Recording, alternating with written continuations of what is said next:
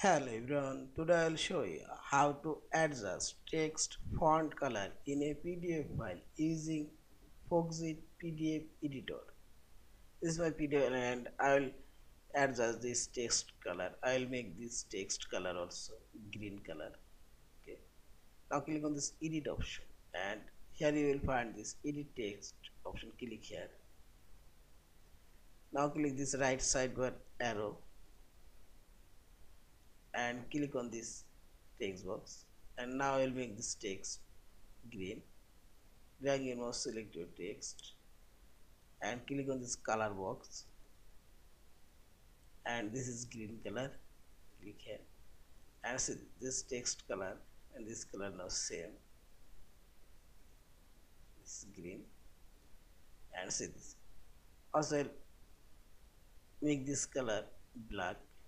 And this. Color this and see this. In this way we can adjust text color in your pdf file.